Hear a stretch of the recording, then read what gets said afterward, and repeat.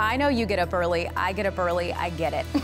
You're trying to get breakfast made, you're trying to get kids dressed. The traffic. I punch my steering wheel a lot. What? We're all in this together. Everybody brings something kind of unique. News, weather, and traffic, and we give it with a smile. No, I'm here to do whatever you guys want me to do. Every single one of us loves what we do. You need to watch Good Day. We're helping each other wake up.